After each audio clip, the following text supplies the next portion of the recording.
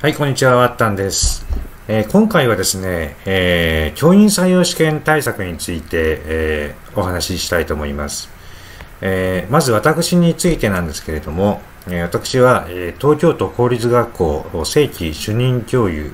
山口県公立学校正規教諭、神奈川県公立学校教諭、その他非常勤講師や NPO 活動等をした経験があります。えー職務の職種としては教務主任、えー学年主任、体育主任、研究主任、ICT 主任と、えーしてきました、えー学級担任が多かったです。戦果はあまりありません。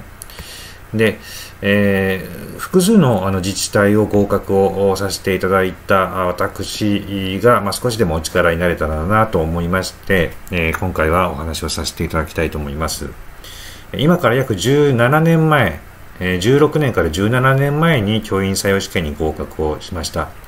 えー複数の自治体合格したんですけれども、その前はですね、その前年、大学の、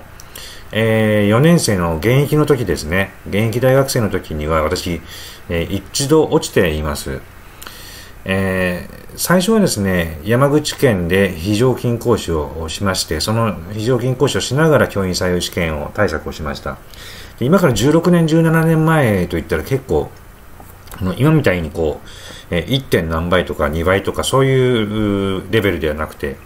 6倍とか、まあ、よくて 3. 点何倍とか、えーそういうような感じだったんですね。えー補欠合格というものがちょっとあったかなというふうに記憶をしていますが、それでも、それぐらいの、まあ、難関だというふうに言われていたような時代です。で、あの、その時に一応私は2回目で合格をしたわけですけれども、えー複数の自治体を合格するとにあたってですね、やっぱり自分としてこれはやっぱり外せないなっていうものをですね、えーお伝えできたらなと思っています。えーまずですね、えー一つ目、えー自治体は一つに絞れということで、やはり自治体はですね、えーあちこち受けるものではないなと私は思います。えーまあ、よくあの、複数受けてですね、えーまあ私はあの家庭の事情があって複数受けたわけですけれども、えー特に事情がない場合はですね、自分の故郷に骨をうずめるとか、もしくは大学があ時代からそちらなので、そちらの自治体に一本に絞るとか、いうふうに絞った方がいいと思うんです。その理由はですね、やっぱり、骨をうずめるっていう気持ち、が一つに絞ってそこで長くやるっていうことが、苦労がまずあまり余計な苦労がする必要のない苦労がない。えそしてそこに、しっかりとこう、骨をうずめながら、精進するという、そういう気持ちっていうのは、あのやっぱり長い人生において大事だなと。私結構あの、さっきご覧になったように、えー東京、山口県、神奈川県というふうにこう、もう3つの自治体を渡って、えー当たり歩いてきてしまっています。私の場合、家庭の事情でしょうがなかったところがあるんですが、あまりいいものではありません。出世の面でもですね、将来のことを考えても、また人間関係とかですね、自分のつながりとかパイプとか、そういうことを含めても、あまり良くはないなというふうに思います。なので、一つに絞って、私はここじゃないとダメなんだっていう意気込みで行った方が、心象もいいと思います。それから次に、自治体の過去問を解け。ということで、各自治体によってですね、傾向が違ってきます。なので、その自治体の、うん傾向をつかむという意味でです。意味でも、えー過去問を解くということがあ一番大事だなと思いました。私も過去問を解いて、そしてそれを、その中で傾向をつかんだ上で、えー教材の勉強をする。えー各一般教養の勉強をする、教職教養の勉強をする、専門教養の勉強をする、面接、論文、えー実技、えま、いろいろありますけれどもね、適正検査、まあ、それぞれの自治体がどこに重きを置いているのかっていうことをつかむことが大事かなと思いました。え次に、え地球儀や地図を眺めよということで、えー複数の自治体の勉強をして、思ったのはですね、やっぱりその、どの自治体も地球儀関係や地図関係の勉強、あの、テストが出て、内容が結構出てます。で、地球儀を眺めると、経度がどうとか、緯度がどうとか、えー、それからその地球のその地理的なものとか例えばその経度のところ経度のところに、え、どんな国があるかとか緯度のところにどんな国があるかってやっぱり地球儀とか地図を眺めてないと日頃から眺めてないとああいう問題っていうのは解けないなと思いますし地図の中でも社会だけではなくて数学の計算もしながらこう考えるようなあな問題も出てますので、えー、そこら辺はやっぱり大事かなと思いました。それから、えー、消去法で絞れということで、えー、時間が限りがあります。60分間で、えー、30問を解くとなると、難しい数学やあの理科の勉問題なんか計算しなければ解けないような問題があります。そうすると1問2分で解かないといけないんですね平均。マークシートに書く時間とか読む時間もありますからそうすると実質1分で解けると。1問1分で解こうという気持ちじゃないといけないんですねそうすると数学のさっき言ったような計算問題なんか絡めると1分では難しいそうするとどっかで稼がないといけないんですね30秒で解くような問題がなければいくつか作んなきゃいけないんですね。30秒でどんどんどんどん解いて、後の時間をその計算問題、時間のかかる問題に持っていかないといけない。そうすると、一つの方法として、消去法っていうものが非常に大事になってきます。明らかに5問の中からマークシートで1問選ぶっていう時に、あとの4問のうち、大体この2問ぐらいは明らかにおかしいような問題があります。文言とかですね。なんとなくこう雰囲気もありますね。えー、言葉の使い方とかですね、そういうのがですね、明らかに変だなっていうのが2問ぐらいあります。そうするとその3問までは絞れるんですね。で、この3問はですね、えー、記号記号の組み合わせを見ると、あのこの 3, 3つの3問ともがあの似たようなパターンの問題になってるんですね。ここの時点でもう大体この3問だなっていうのは2問か3問だなっていうのが絞れるんですね。そうすると時間短縮にもなるので、いちいち1個ずつ丁寧に丁寧にこう計算してたら時間間に合わなくなっちゃうので、もう最初に絞るっていうことは大事かなと思います。えー、それから、えー、苦手分野を後回しにせよということで、えー、自分のが、例えば私の場合は数学と物理とかが苦手だったんですけども、やっぱり後回しにしました。で、パッと解けそうだなと思ったらと解いちゃいますけれども、えー、そうしないと時間的な問題が生じていきます。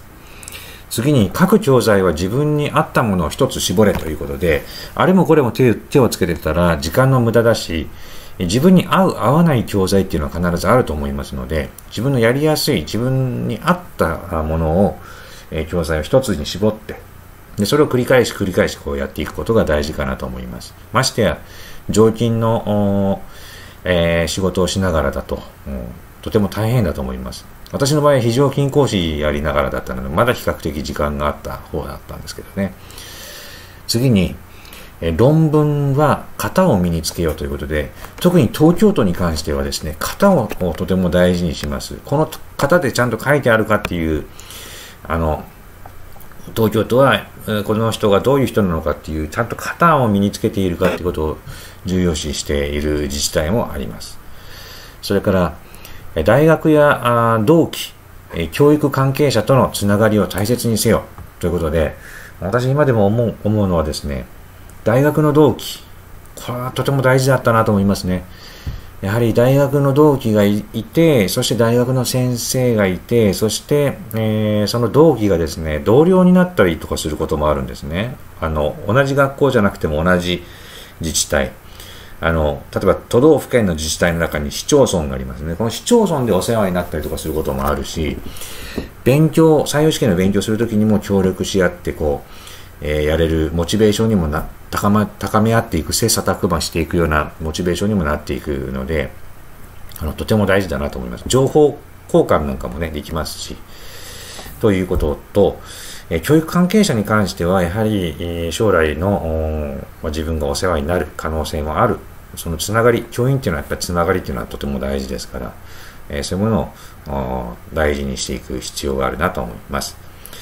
次に、面接は実演せよということで、面接はやっぱり実際にやってみてほしいと思います。でもし、なんだったら一人でね、実演してもいいと思うんです。家でやってもいいと思いますし、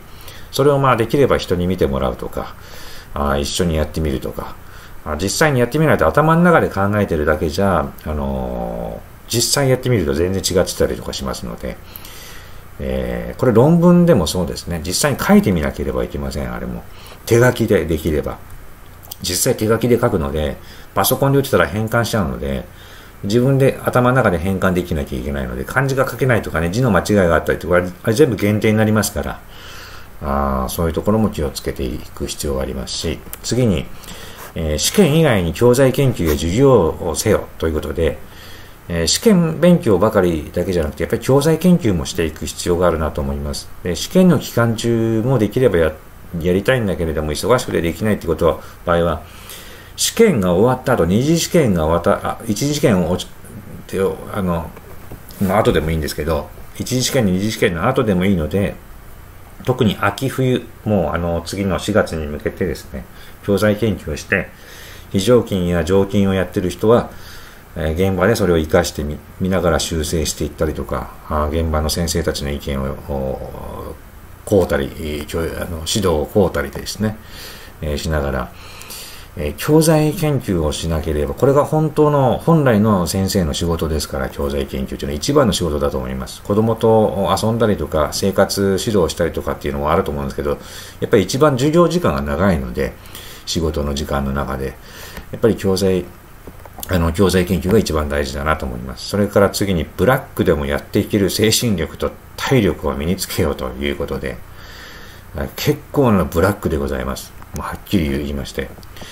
えー、朝の5時、6時に起きて、7時過ぎに出勤して、特に新米、新人さんはそうですね。